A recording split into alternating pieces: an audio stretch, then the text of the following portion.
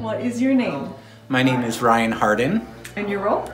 I am playing Charlton or Chuck Reynolds, who is a playwright. What's your education background like?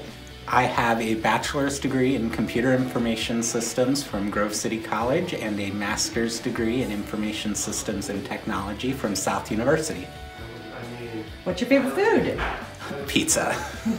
what is your favorite thing to do when you're not in rehearsal? Oh, I love hanging out with my friends. What's your favorite production to date? Probably would be my high school production of A Comedy of Errors. Uh, getting to do Shakespeare's a lot of fun since it's uh, public domain, so you can really do whatever you want with it without having to worry about any legal issues. Uh, what is your next big thing?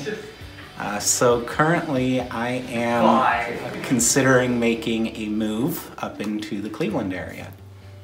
And any lasting thoughts to the cast or crew? You know, I would just suggest that uh, we've got several younger members of our cast. I would really suggest that they keep doing this. There's a lot of talent in this group and uh, it's, it's great fun to work with them.